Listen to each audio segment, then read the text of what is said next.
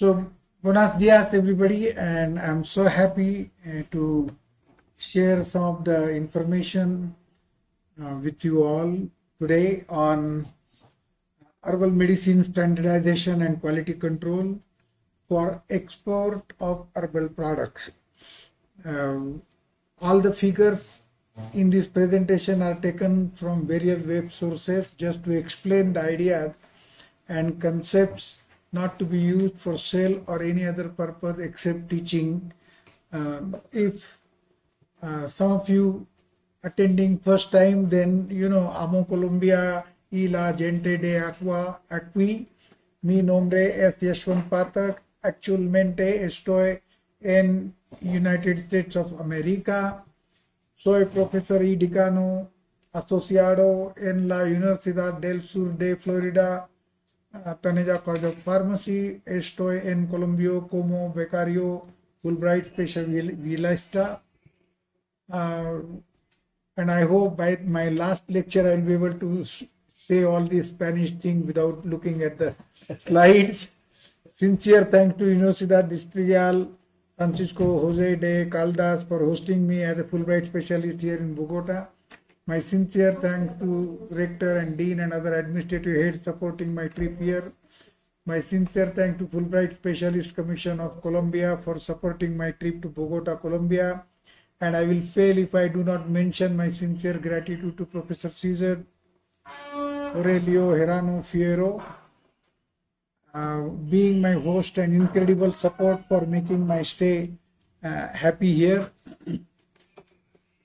Special thanks to Rim Abdulhum and Shannon Fleming of World Learning and Sergio Villamil Sanchez, Sebastian Villamizar, and many other Colombian Fulbright Commission for their kind support. Professors Luis A. Reyes, Juan C. Cruz, Willy Moreno, Luis Fernando Cruz Quiroga.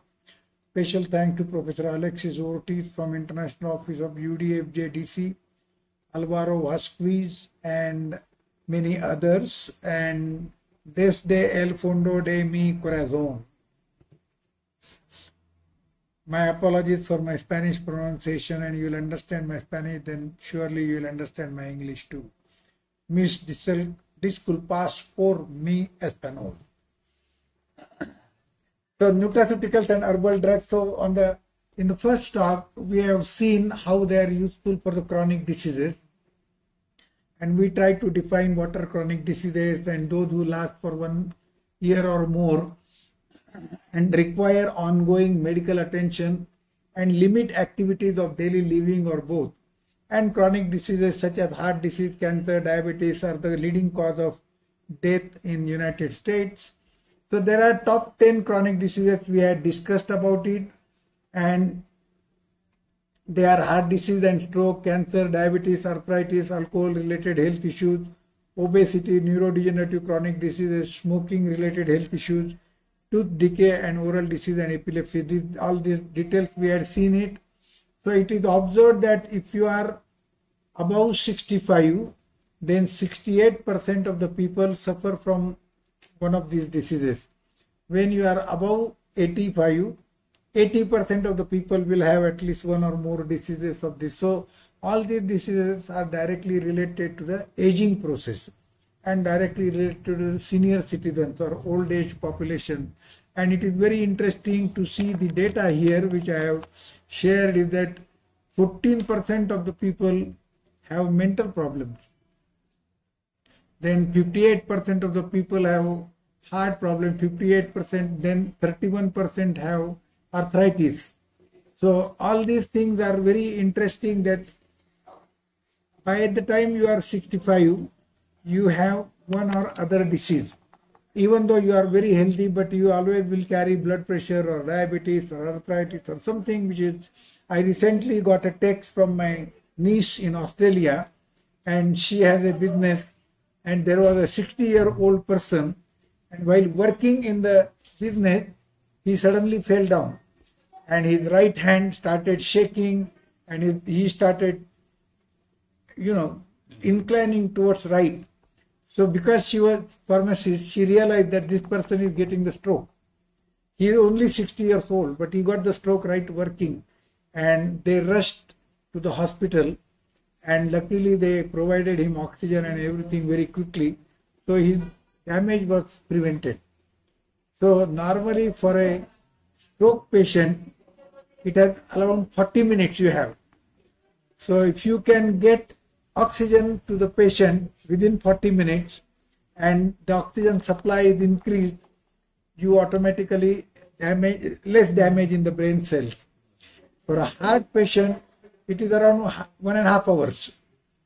If you get oxygen and get aspirin, so they are saying that people above 65, like I am 65 plus, so I always carry aspirin. And if you take aspirin, you can prevent the damage of stroke. That is what they say, and it has been proven that aspirin helps to prevent the damage. This is a simple thing 81 milligram aspirin, you carry it with you if you feel like having stroke, and it is very easy to know the symptoms of stroke as well as heart attack. It is very easy to know. When I will show you changing the face of pharmacy, you, we have now EEGs and ECGs which you can carry mm. on your cell phone. So you can really know an hour before that you are going to have heart attack. So the best thing is to go to the hospital. But in America, it is very interesting. If you go to the hospital in ambulance, you get preference. If you drive your car to the hospital, you sit in the waiting list. So they say that if you have symptoms of heart attack, do not drive. Ask for ambulance and ambulance will come and will help you. Makes sense. Yeah, makes sense because if you go driving yourself, then they don't realize that you are that serious.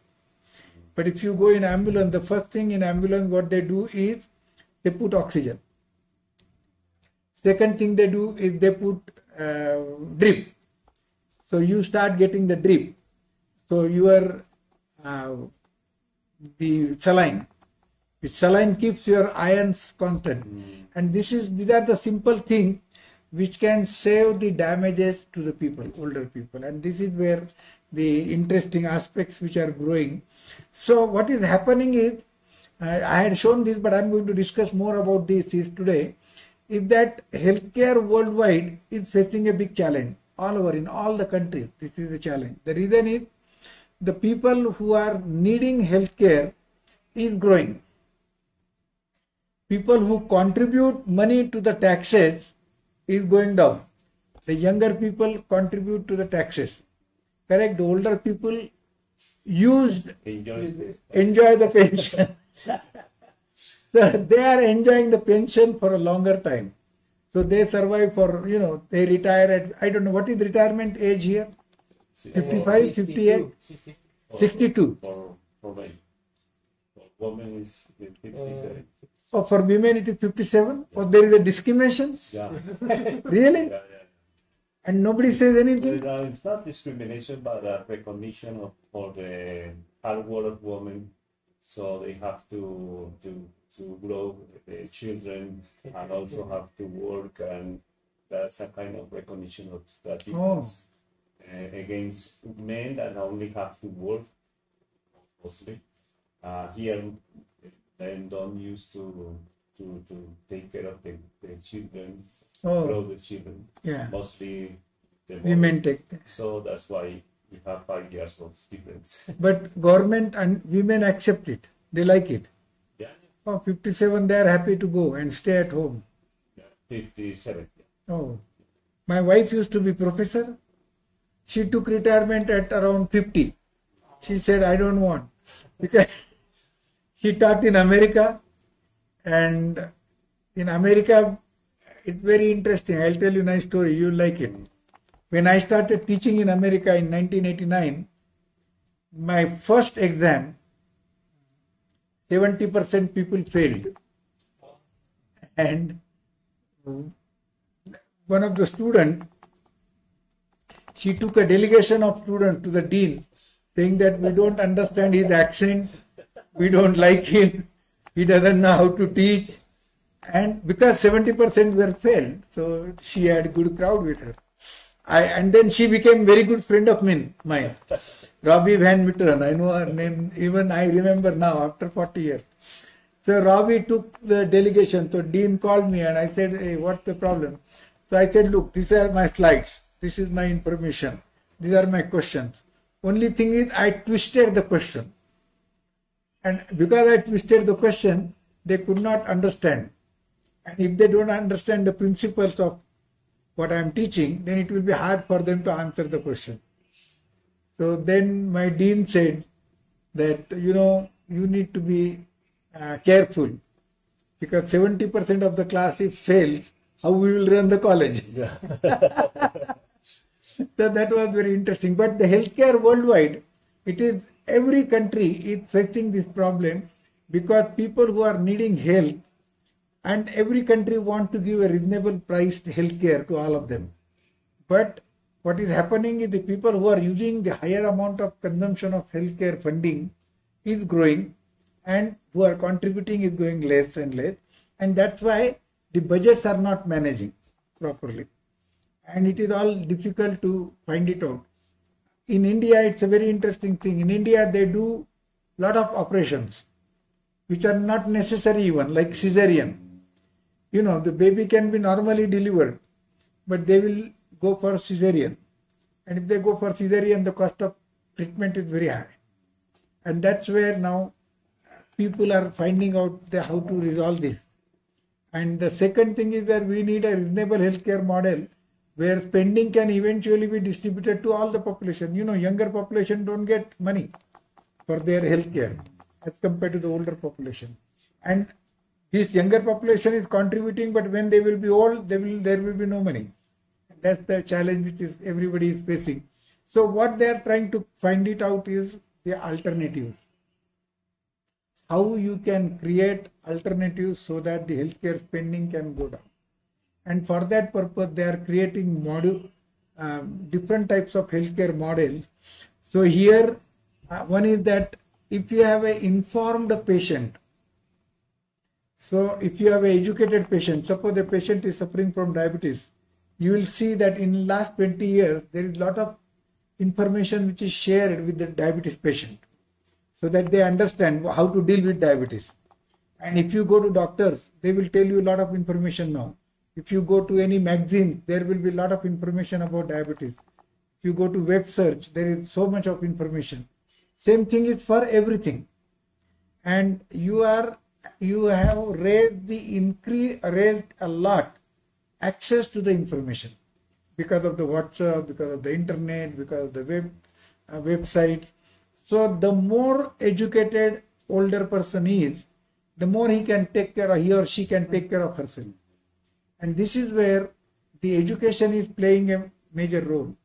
So pharmacists, nurses, and now the whole world is moving towards healthcare team approach because the doctor doesn't have enough time to spend with the patient but pharmacists have time nurses have time so they are trying to put up a teamwork of healthcare professionals to make sure that healthcare costs go down.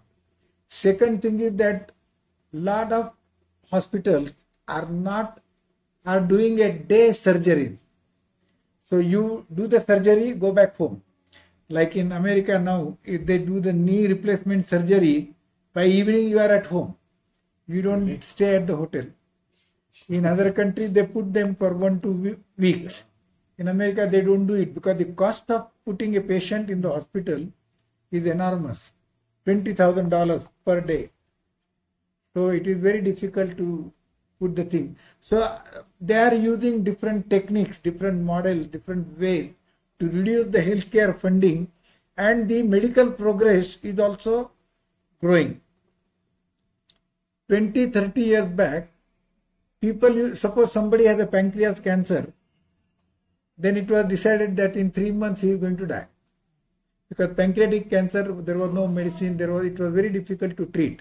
Like liver cancer, some of these cancers, once you get that cancer, people used to say that now he is all ready to go to uh, burial ground because that was so dreaded disease.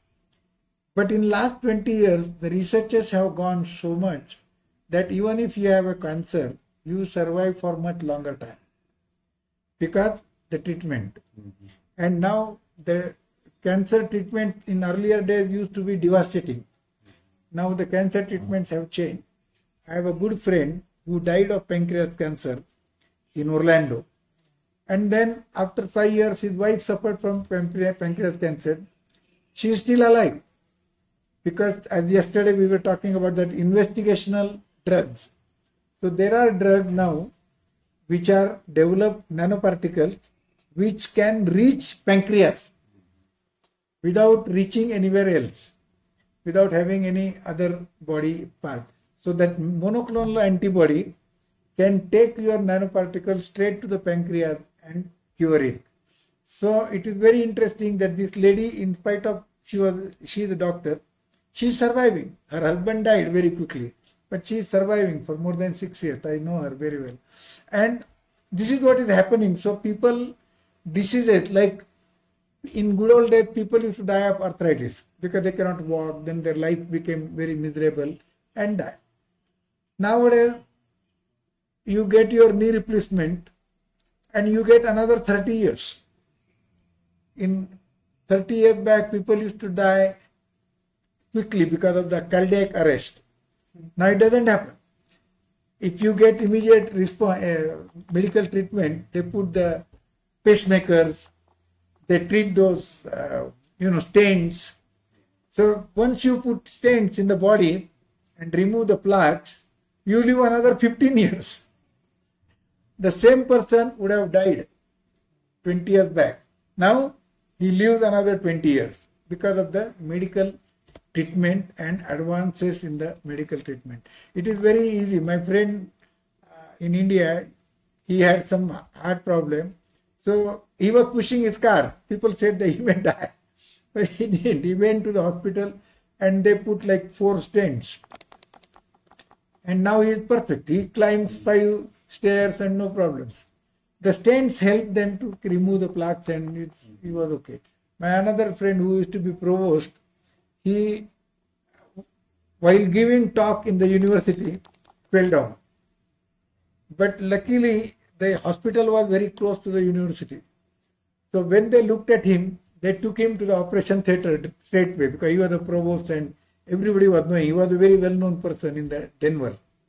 So they took him to hospital. They found out that six of his arteries were blocked. So he would have died. But then they did an open heart surgery, removed everything, and they put new arteries. He is still alive. He's 91 years old. Oh. And this happened in 1996. I went to visit him. so you can see that the technology has changed and you are now and then new chronic conditions are created for medical progress and require sustained care and resources. There is another interesting story I will tell you. In COVID, I had I, I used to work for international uh, collaboration group. So I was the chairman of the international collaboration group, and my colleague was uh, she was vice president. So her husband is MD PhD, and he wrote in his will that unless the medical profession fails, they should continue treating me. Now he was 85, 86 years old. During COVID, this has happened, one and a half years back. So he, he was in nursing home, so he started feeling like something is odd for breathing. So people thought that he is suffering from COVID. They immediately isolated him, put him into the uh, hospital. Then hospital said no, he needs more treatment. So they took him to the bigger hospital. From bigger hospital, they told him that he needs to go for a senior uh, specialized nursing home. So they transferred him to specialized nursing home. And from there, after three weeks, he came back to his nursing home. And next day, they found that he is COVID positive. Going through four places, he found COVID positive. So they put him isolation, and then in he was okay. Within one month, he had heart problems, so they put a pacemaker.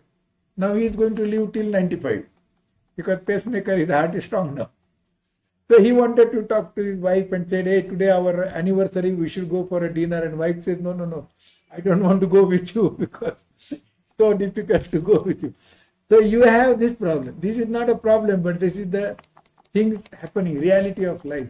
And that's why there is a need for how to deal with chronic condition. There is a need to understand how to manage these things and how to work with the aging. And people are coming up with many different models. This is one of the model where we are talking about dietary uh, thing, lifestyle change, giving the nutraceuticals, herbal products, exercise schedules. And uh, in America now you have several uh, gyms meant for 65 plus. So if you go 65 plus, don't go to the regular gym because regular gym, the trainers are very strong. But they go to 65 plus gym so that they can understand the 65 plus, you know. So life expectancy and healthy aging is growing on and quality of life is also growing on. People want to live longer. They are very active and they are very productive also. So I have a friend who is almost 80 years old. Even today regularly he publishes and he does good uh, book editing. is still continuing. And it is uh, very good for the society because they are useful. So you cannot dump them. You know, they uh, in America, there is a very interesting saying they say. In the Native Americans, they call it the concept of elders is there. Correct? Mm. So one white man was talking to the Native American. He asked him, What is this elders? So he said that you white Americans become old, older, and useless. we Native Americans become old, wise, and elder because we are useful to the society. That was the joke. But you know, the healthy aging is a big thing and it is becoming very common now. People are enjoying. So if you see this, uh, this is a book booklet published by New York City, which calls, uh, calls Aging with Dignity. So aging with dignity and they have a blueprint of serving the New York City growing senior population. And they have various ways of telling the people how to deal with senior people, senior people, how they should walk around and all those things. And now they are creating special pathways for senior citizens because they walk slow. So they are creating special pathways for senior citizens. In the park, there will be people who are jogging and people who are walking, senior citizens. They different ways.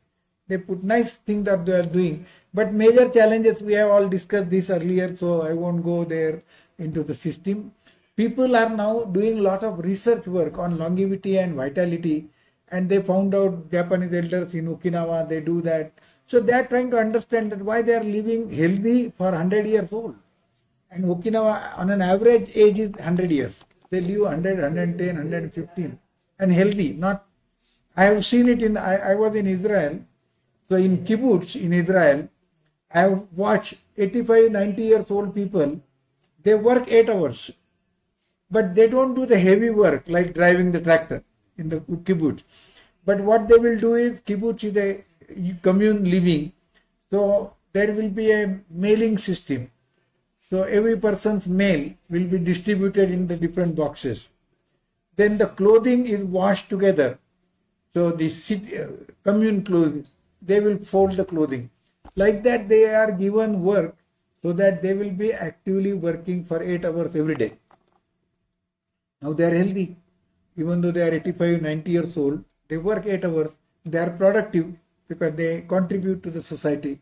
And this is where to utilize their expertise, utilize their uh, workforce as a workforce, new and new ideas have to come up and see that. And that is where, so the in Okinawa, the Japanese food, this is the uh, system they use. They use milk, they use fruit, they use fish and meat dishes vegetable dishes and grain dishes. So you will find that it is going like a reverse pyramid. So grain dishes are bigger because they have higher fibers.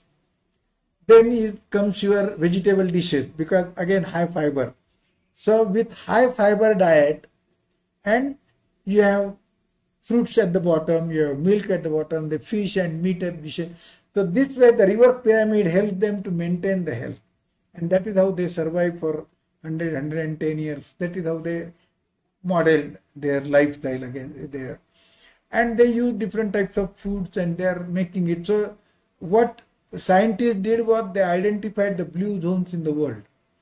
Blue zones are the areas where people live longer than 100 years. and they identified these blue zones. They are in Argentina, they are in different areas. And then they started studying what is the reason. So they found out that in Europe, there are people who live more than 100 years because they are in the hilly area, like, you know, mountainous area here. And they will be climbing the mountains with following the ships. And they will go up and down. 100 years, but going, climbing and coming down, no problem. So sitting idly in the office doesn't take you longer. But climbing the mountain, following the sheep, it is good. So they identified such things and then they are trying to find a lot of research is going on on this area. This is a great area to work in for your PhD or in the research there. Now, reducing the chronic burden on public health is a challenge, and this is where the herbal products, as we have discussed yesterday and before yesterday, is becoming a one way of resolving this challenge. And that's why there is a lot of interest around the world for herbal products and nutraceuticals. But now, only suppose Colombia is not a very big country, but you have very good resources. So if you want to use herbal products, you can use it for your self consumption plus export. Now, as soon as you export, you have to have standardization. And this is where the people are working on standardization of herbal products, nutraceuticals, and how they can do it. So, what today I am going to talk is about how we are going to use different techniques.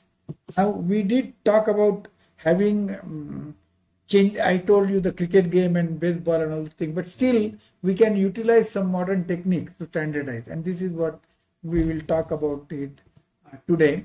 So herbal drugs have a great opportunity, and I'm just you know uh, I'm giving an example of Indonesian herbal drug. If you see, Indonesia has one of the very good traditional system, jamu, and now a lot of products of Indonesian herbal drugs are marketed globally. And one of the best way was the characterization and standardization. So they did that, and they are coming up with very nice products and they are very good for acute as well as chronic diseases both. So they call it jamu. And jamu is 3000 years old. Indonesian jamu traditional medicine are 3000 years old and they are used as complementary and they are trying to grow the market for aging population and for the benefit of the people. Now if you look at traditional herbal drug used in Colombia, you must have heard all these things, but most produced herbs are basil, chive, dill, laurel, marjoram, mint, oregano, rosemary, thyme, coriander, sage, cardamom. Am I right? These are the things commonly used here. You use it in curry also. You, I have seen them using it in my vegetarian food every day. In the hotel they do that. So uh, these are common medicines which are used there. Some commonly used healing plants in Colombia are Artica dio, uh, Ica, Punica, Grantantum, Allium, cepa, Zingiber officinale, Roscoe, Curcuma longa, and, and these are all manufactured or produced in Colombia, in different parts of the Colombian uh, areas there. So there are home remedies which are passed down from generation to generation, are part of the Colombian culture, and in the villages they still use these uh, country's diversity offers a rich variety of medicinal plants and according to the popular belief of the ability. Now there is a lot of opportunities and this is what Jamu, Indonesian Jamu did. They, they took the knowledge and started converting into a product which can be exported, standardizing the products and exporting it. So Jamu is the traditional Indonesian system. The word Jamu means uh, in the Javanese and it is derived from Javanese culture uh, which says mixing or gathering, you know, collecting the earth and mixing. That is called jamu in their local language. And thus can be translated as the concoction made by the Javanese or the concoction originated from Java. So this was the old picture, you know, the Javanese lady is selling the products.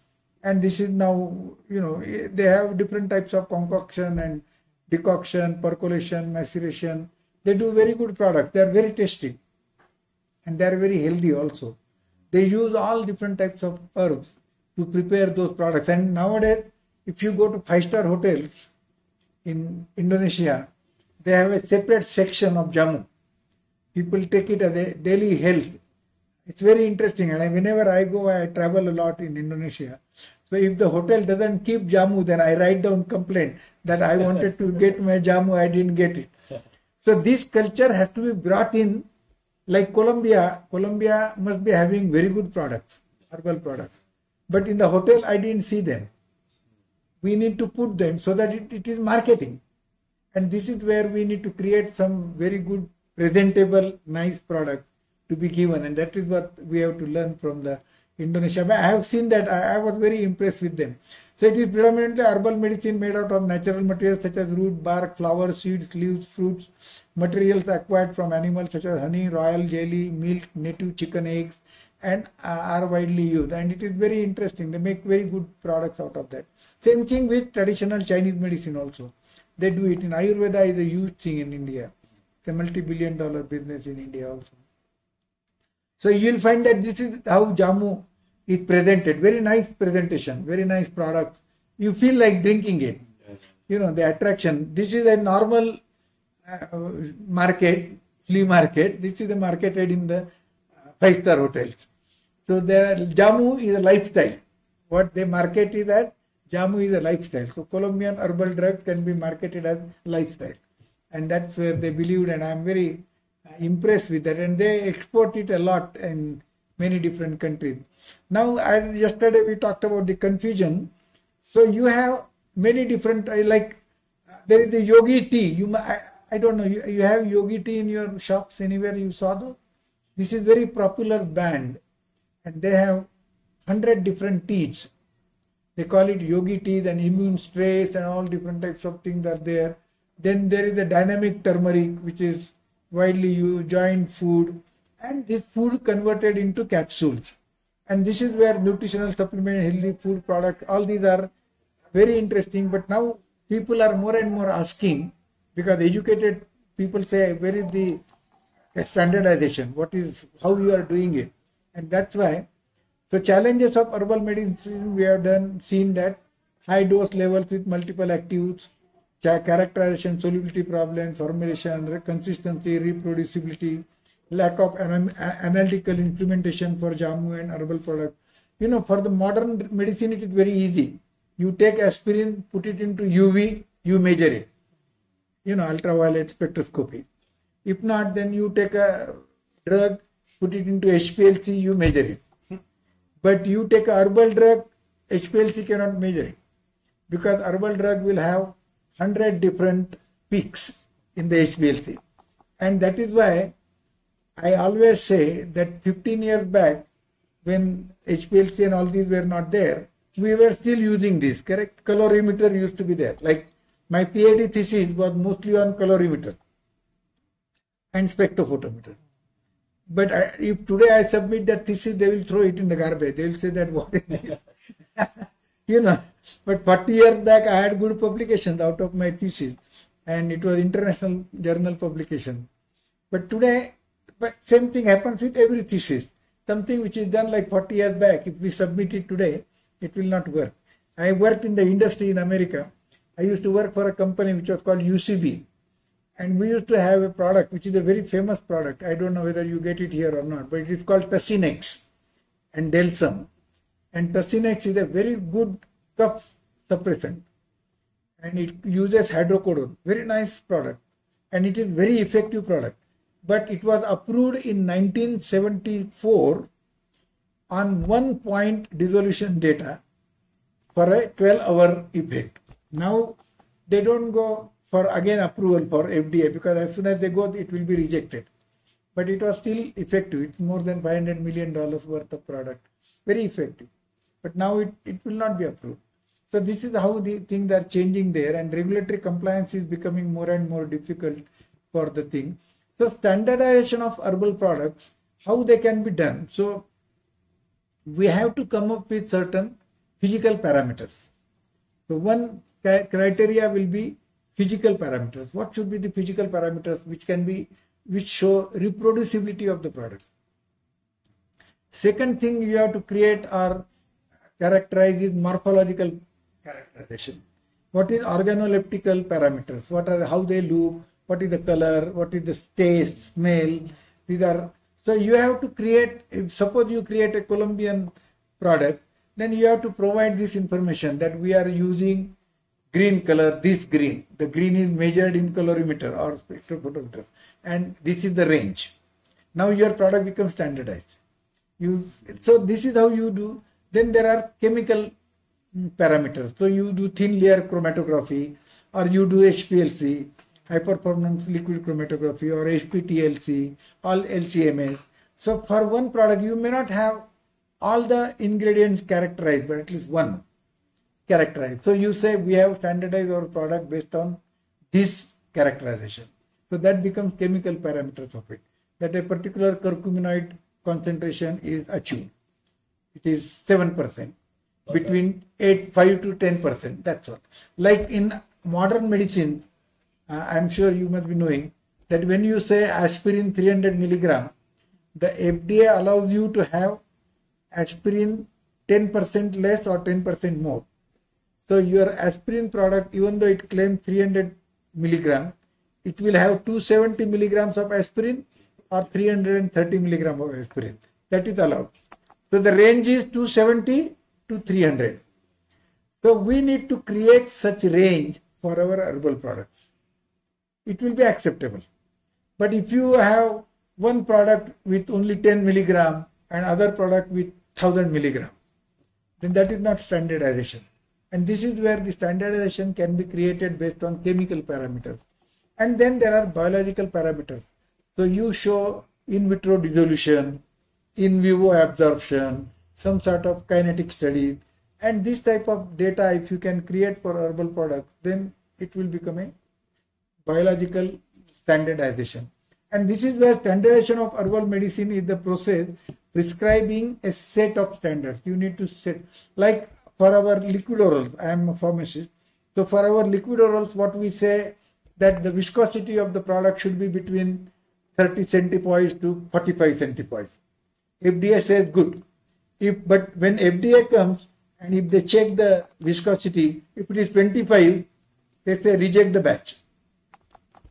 So you have to create your own SOP, standard operating procedure and standardization, but within the range. And that is where the herbal products are there. Then you have to have constant parameters. You know, once you stick to those parameters, once you create a SOP saying that the viscosity of my product will be between 30 centipoise to 45 centipoise, that is my standard operating procedure. Then a batch after batch after batch after batch, your product should have that numbers. It should not be less, it should not be more. Within that range. That is called standardization. Then you have, pardon? International or is only American standard? No, it is, uh, you create your own standards, but you stick to your standards. And if you stick to your standards, then every country will accept it. But they will ask you how you are defining your standards. Once you say, uh, like, you know, all over the world, if you take a product from Pfizer, everybody takes it, correct? Why Pfizer products are taken? Because they use this standardization and they have a reproducibility of the standardization. You take many different products and you will find that they are there. But still now, if you suppose you have a product from America and product from China and product from Colombia, on an average, what you will do?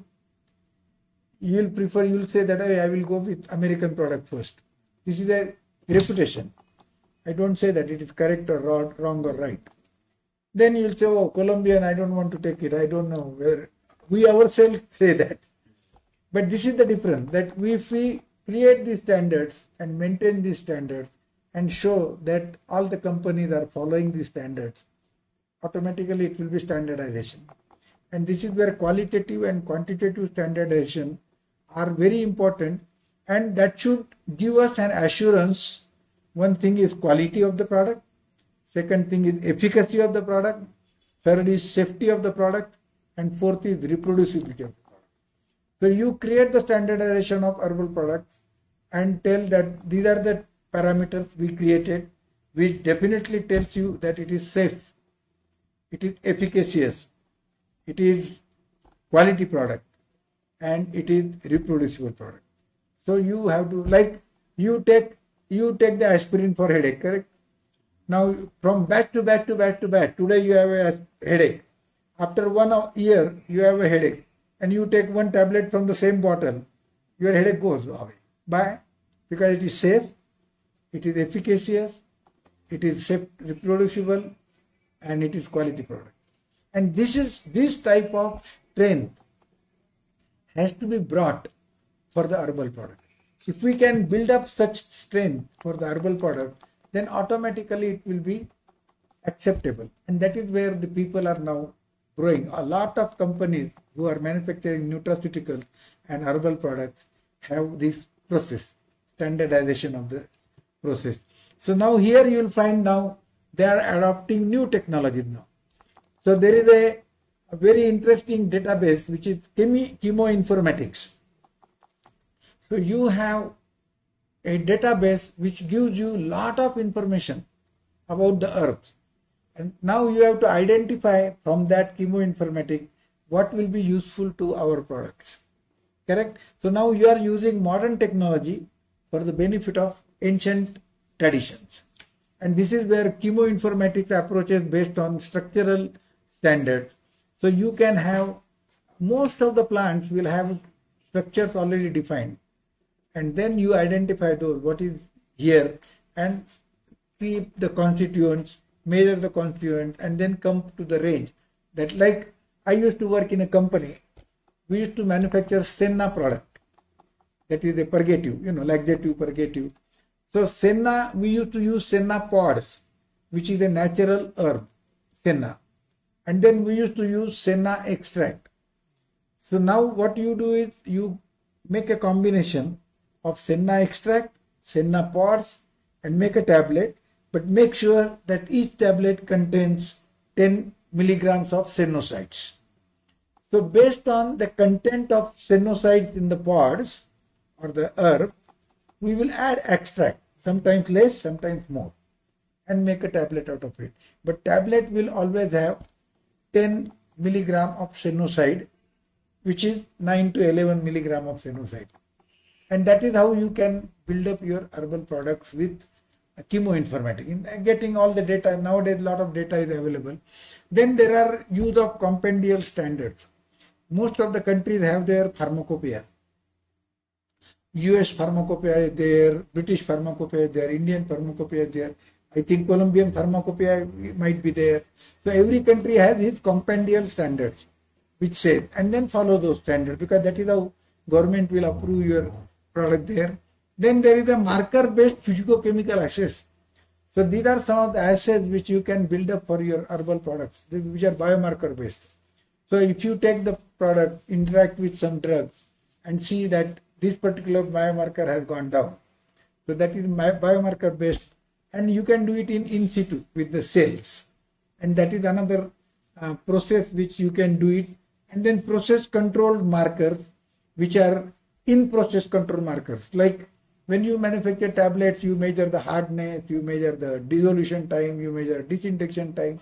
Like that in control, process control uh, um, analytical thing, PAT they call it and that is another area where we can build up during the process of manufacturing then there are storage standards where you should storage it whether it is in cold storage high storage temperature how is the effect of temperature on your product so there has to be some data to be created that is called standardization of the product and finally polyherbal reference standards so if you are using multiple herbs then multiple herbs will have multiple reference standards and that is where you can build up approaches for standardization of the herbal product. So here are several uh, areas. They call it material characterization. So you can define the ash content, dry ash content, water soluble ash content. These are some of the simple technique which you can do for characterization of the product. Then there is a physical characterization, then standardization of the thing, biological characterization and microbial characterization. So if you have a herbal product, if you prepare it, then you have to make a microbial study to show that your product is not carrying microbes, correct? Because it is a natural product. And if it is a liquid product, then definitely the macro will grow. We have seen that our bread, if we keep it outside for a long time, fungi grow. or different types of molds grow. So in case of herbal products also it is very common. So you need to come up with a microbial standardization for the product. So what is microbial contamination? If there is contamination, there is not contamination. And this can be easily avoided by using good manufacturing practices, clean environment for manufacturing. And that is where pharmacological evaluations are necessary and toxicological evaluations can be done. So you have to do at least one point, you give your tablet or your herbal product to 15 rats and check for one month. The 15 rats were taking the herbal product continuously every day and they survived, which is a toxicological study. Mm-hmm. But somewhere you have to show that we have standardized the product, toxicological, pharmacological standardization. So this is where your thing will come. Then there is the physicochemical characterization, color, odor. Have you seen all the vitamin, multivitamin liquid syrups are heavy in color, dark in color. Why? Because there are a lot of interactions happening. So they use the dark color. So you need to make sure that when you use the color, what color you use and what is the concentration of the color and how you can measurable. So now you are characterizing the color of the herbal product.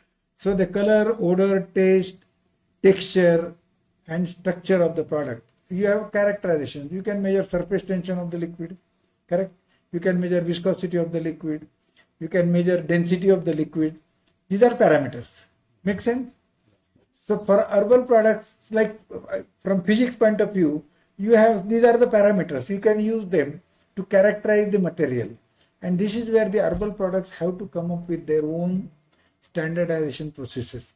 Now good number of companies are coming up and marketing also in flyers that we have standardized. These are our characterization. These are our thing. So that builds up the confidence in your product. And this is where you need to do that. And then if you can use the advanced techniques like chromatography spectroscopy, LCMS, at least some study you can show that we used HPLC and we found out curcuminoid content this much and this is our range, standardized product. And people will love it because we have done. So can we adopt, now it is impossible to adopt all of it for every product.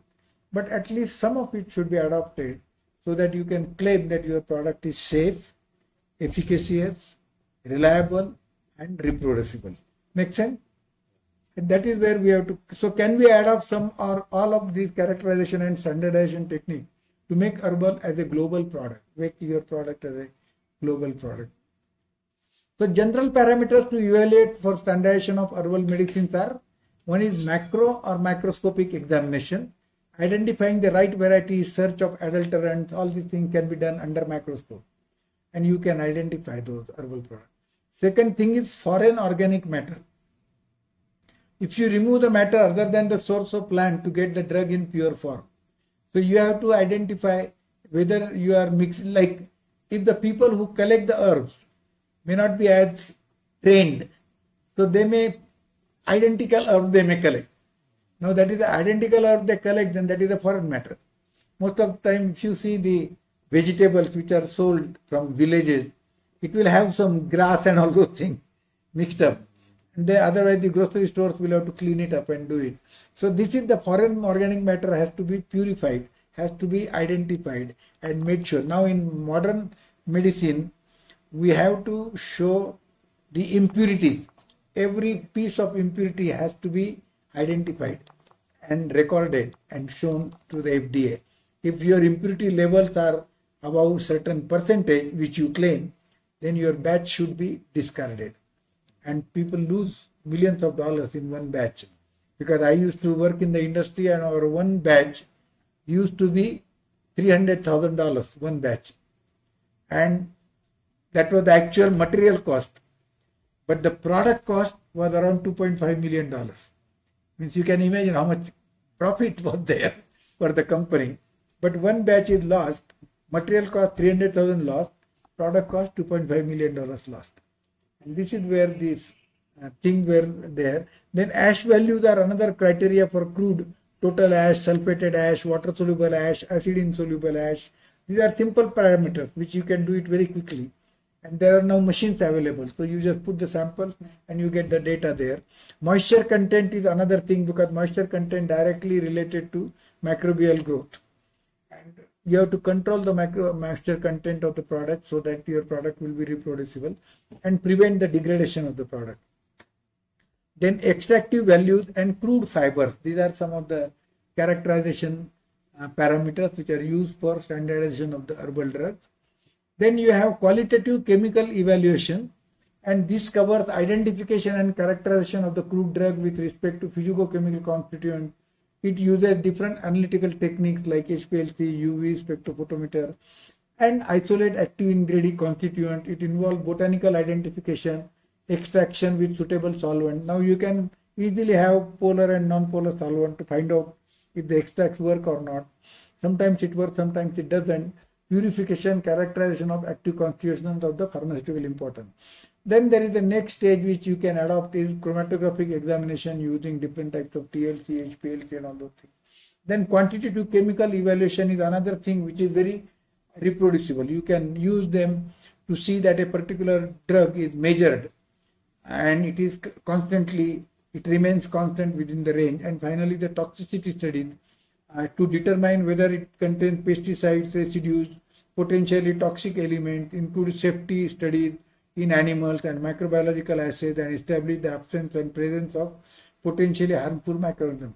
In America, we are really having a major problem now because the milk, what they drink, cow milk, is full of hormones.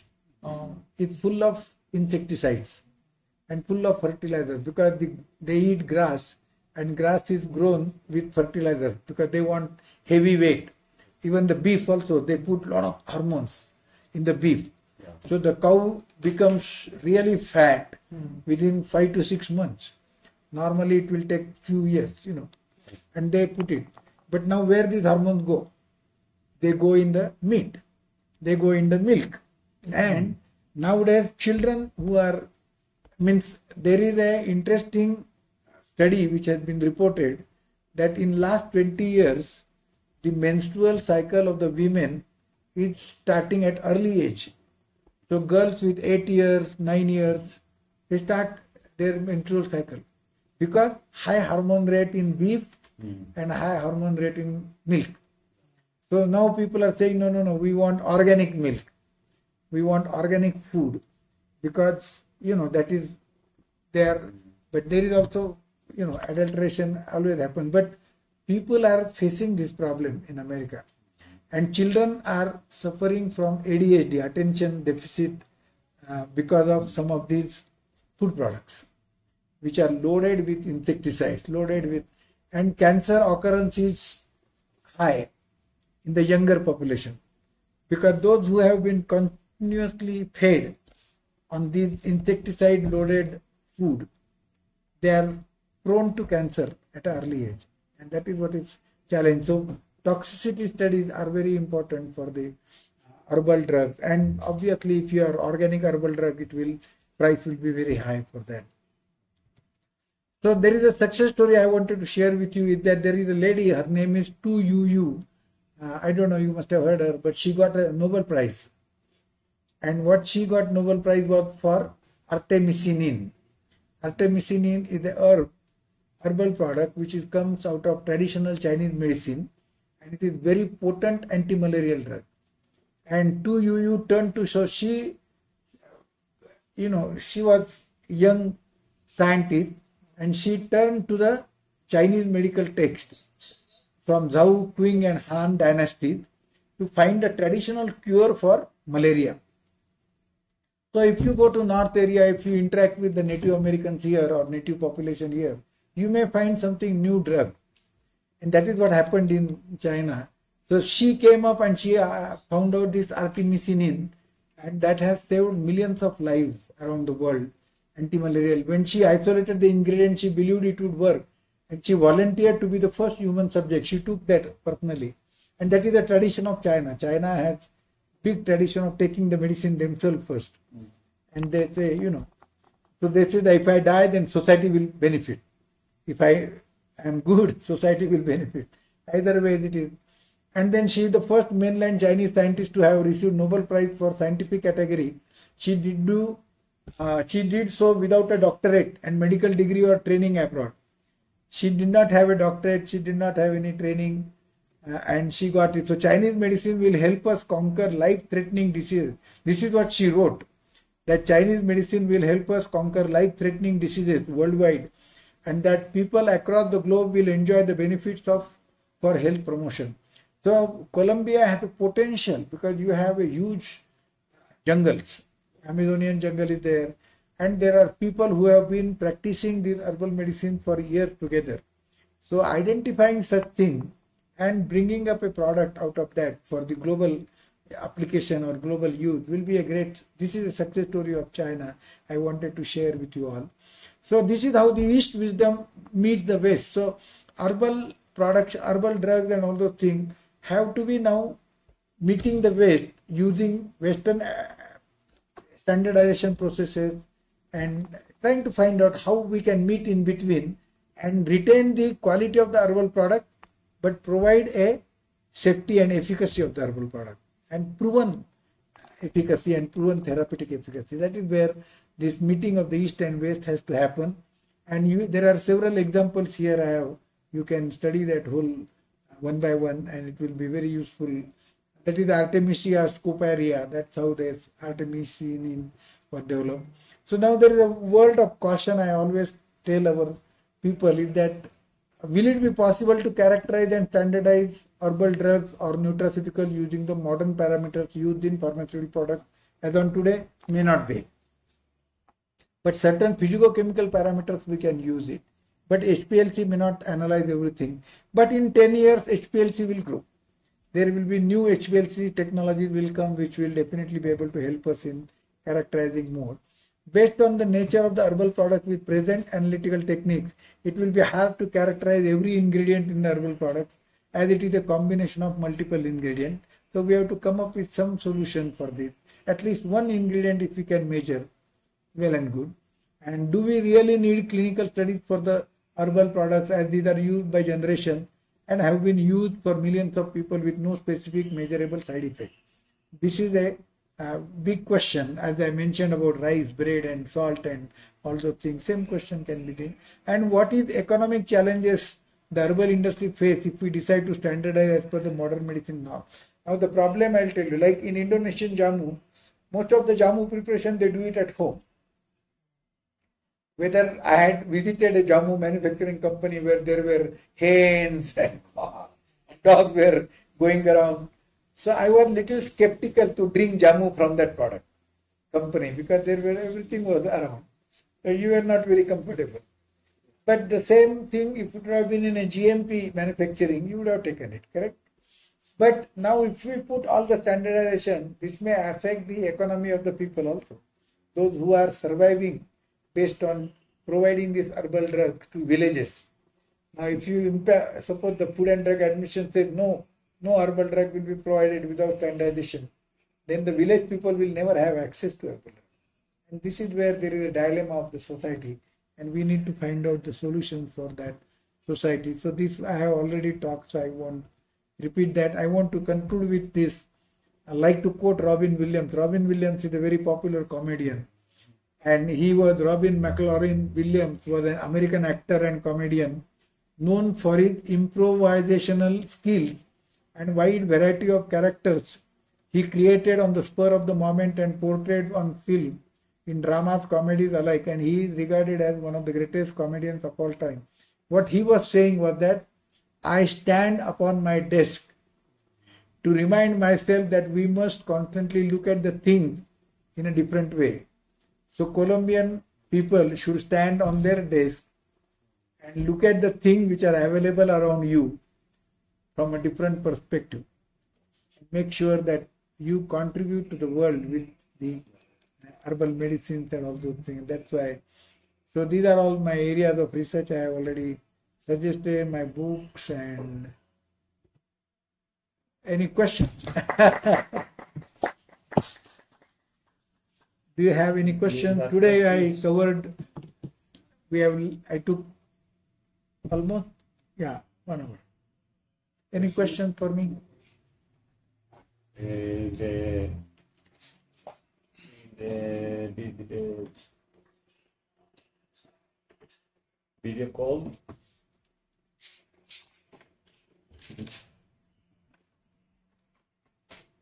Ah, let me, let me open the microphone. Ah, the microphone's closed. So if you have any question for me, please uh, ask or later. Oh, there is some question. Susanna Fiorentino Gomez. How can we?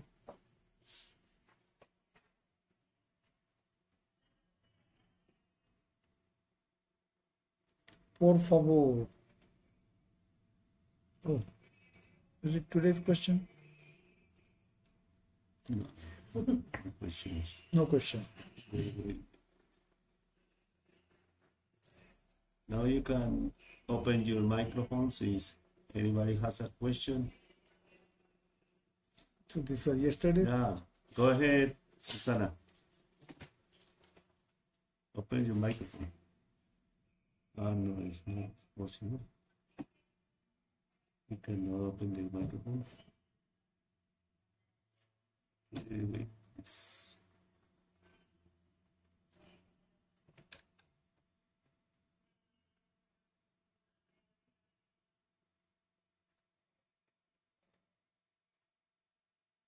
Now you can do it, eh, Susana.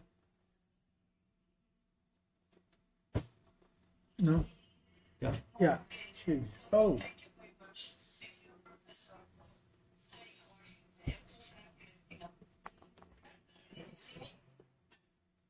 Yeah, wait a minute, please. Hi, how are you? ¿Cómo estás? Can you hear? I can't hear. You can ask her.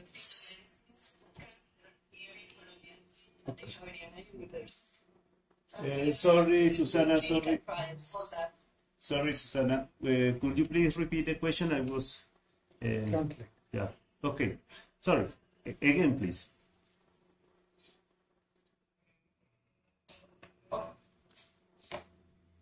Aló, ¿ahí me oyen? Sí. Now it's better. Okay.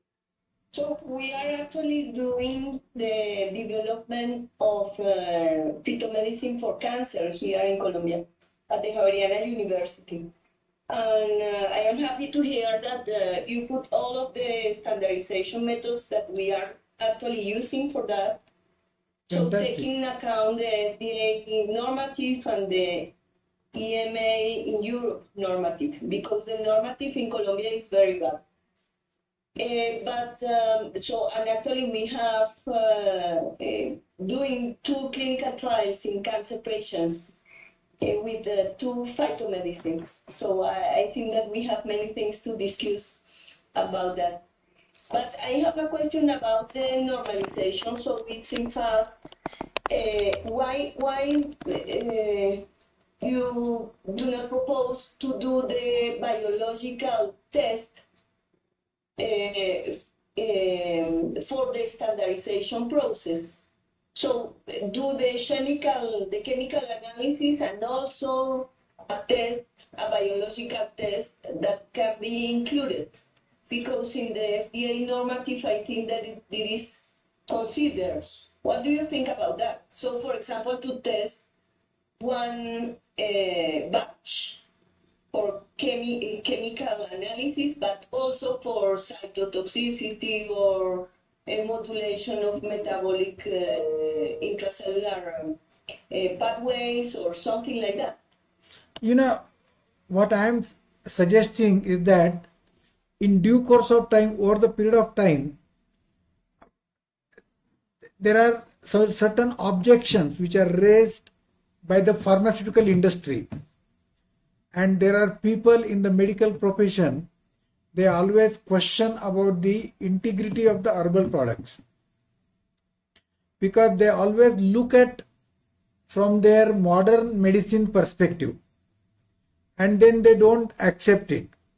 And this was the practice by many medical professionals for many years. Over the period of time, they used to denigrate herbal products or nutraceutical, they'll say, no, no, no, don't use it. And I want to quote a professor from Stanford. And he wrote a beautiful article and he said that as a medical professional, I should not be selective if any pathy which can help my patient, I am open to use it. So if you look at the Western world, they try to make sure that traditional medicines will not be practiced, Chinese medicine not allowed, Ayurveda not allowed, the traditional systems of medicines which were practiced in many different countries, they didn't allow it.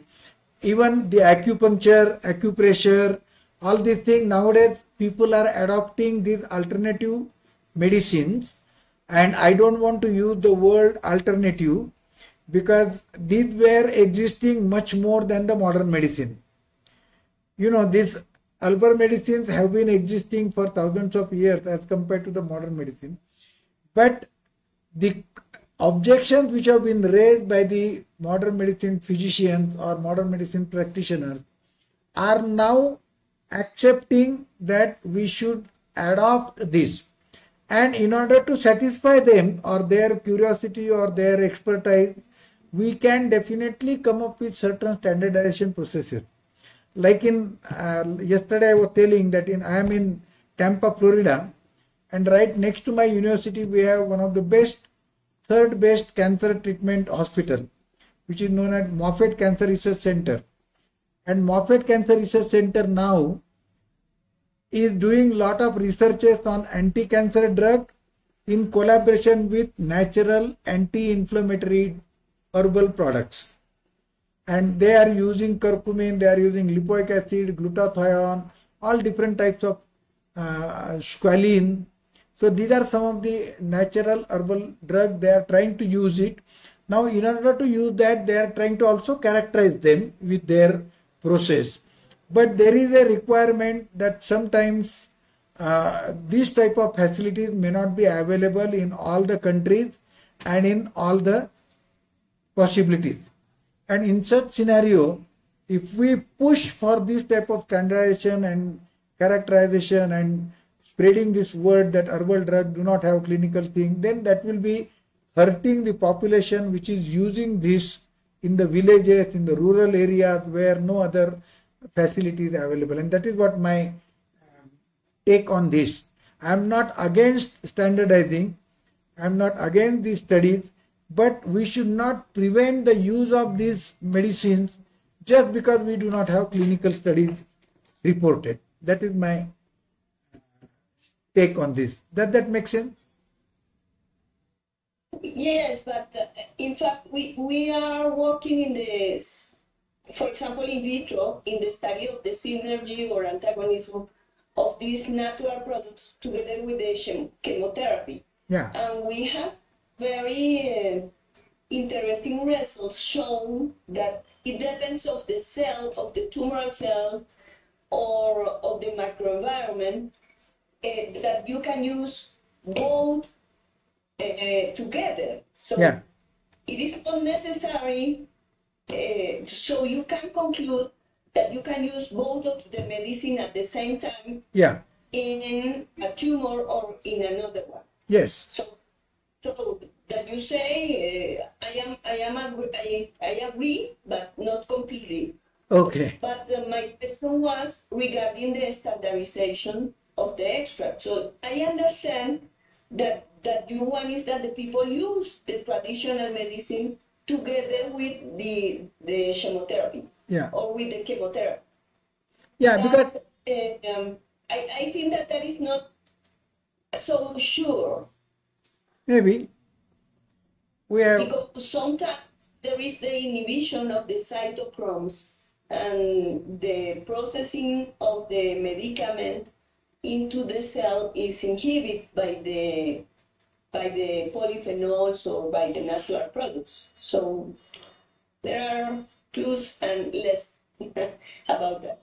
Now I agree with you, and we I agree and disagree both. Means, uh, you are correct from your perspective and I think I am correct from my perspective. So we have a disagreement. But there are now US patents issued for a combination of herbal drug and the anti-cancer drug. There are several US patents are issued now. The what my perception is that suppose big pharma companies enter in this business and they try to monopolize this business, then who is going to suffer? It is the common man on the road will suffer because the cheaper options they may not have. It's like a, uh, as I was mentioning last yesterday, that Pfizer company's one product was Lipitor. It was 18 billion dollars. Now that Lipitor product has come out of Chinese red yeast rice. I don't know. Have you heard about that? So Chinese red yeast rice has an ability to reduce the cholesterol if you eat that Chinese red yeast rice regularly in your rice in your life as a lifestyle. So what Americans did was they banned the import of Chinese red yeast rice in 1990 in United States. And then Merck came up with first product which was Lipitor simvastatin. And that's how this whole herbal drug was exploited for the benefit of certain people. In China, Chinese red rice is widely used regularly, cost not even one cent to maintain the cholesterol. But it is used by the Lipitor and made 18 billion dollars out of it. So I think uh, my take is, and I'll give you a good example in New Zealand, there are people known as Maoris. And now Maoris have a resolution passed that if any world pharmaceutical industry uses the Maori herb, they have to give royalty to the Maori community. So tomorrow, if you find some herbal drug from the Native Americans in the Nevada or North Columbia area, and if that is taken up by the Pfizer and they make the money and these people stay poor. So that should not happen. So we don't want the herbal expertise should be exploited for the benefit of few people, but it should be given to all the people and uh, made available to all the people. The science, what you are talking about, chromatograph, uh, all the cytochromes and all those things is growing. Every day it is coming up with new and newer things, and we are trying to find out newer, and newer things whatever which was applicable 10 years back and I can provide you a lot of data on products which are approved by FDA and then withdrawn in two years because of the side effects and uh, deaths of the patient who took it. So obviously science is also developing and we need to utilize as much as possible but should not prevent the access of herbal medicine to the common man on the road. That is my take in this. That's all. Okay. Okay. We will now encapsulate the foods. Yeah. Okay. No problem. I agree to disagree. No problem. I have no problems with that. Thank you, Susana, for your uh, questions. There is another question in the chat. I'm going to translate it because it was written in in Spanish. Is it possible for a pharmaceutical uh, anxiety product to be recognized or approved by the OMS um, because of the million uh, use and efficiency in the case of our our, Native Americans uh, without having uh, that uh, standardization process You know, that is what today we were talking about is that if you come up with certain standardization, because unless there is a standardization, if you are producing herbal drug from different areas, different regions, and when you bring all those together and put up a herbal product, you need to have some criteria to make sure that it is safe, it is efficacious, it is stable, and it is reproducible. So if we want to have these four criteria for any drug, herbal drug or normal drug, whatever you want to call, it, this has to be done at some point, somewhere, in some or other way. It may not be fully possible now, but in another few years it will be possible. It takes only technology, like nanotechnology, you know. there were no ACM, nobody even thought about nanotechnology. Now it is available. So in 10 years, things will be different. Thank you very much. There is a last question from Chamorro. How to teach or influence others to use natural and ancestral products as healing medicine? You know, it all depends upon the mindset of the people. Today, the mindset of the people is that unless it is a well standardized product, you don't take it, correct? That is the mindset. So, you want to go to the shop, and there are people. This mindset has been created with so strong marketing that there are people who will not go for generic product. They will say, I want only brand product. Do you have people like that? They go only for brand product from big company, big companies. Yeah, They don't want generic product because that is how the marketing has been done. Now, if you come up with a nice system where you have standardized products, they are safe, they are efficacious, they are reproducible, and they are presented properly. The most important today is how you present them. If the presentation, I don't know, I gave you product, correct? Yeah, yeah. Do you have those products here? Yeah. How? Um, oh, at home. I have given him some products which are herbal products. But if you take, if you look at those products, you will say, oh, I must take it because it looks good. It is presented properly. It is in the form of a effervescent tablet. So you need to create such a pathway for these medicines so that they will be useful to the society. But remember that the world is not rich. I always believe that world is not rich. Everybody is not rich. There are poor people also. They deserve to get mm-hmm. something which is for their treatment. And in such scenario, we need to find out a middle way where mm-hmm. they will have accessibility, but they will have better quality. That's all. Thank you very much. I don't know if we- any other question. Nobody else. Okay, say, Muchas say gracias. goodbye again Yeah. Thank you. Jan Juan